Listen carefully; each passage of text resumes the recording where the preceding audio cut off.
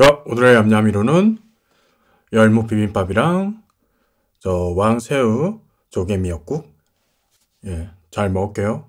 좋아요, 구독 좀 눌러주세요. 자, 미역에 그리고 다진 마늘 많이 조개 해가지고 예, 볶아줍니다.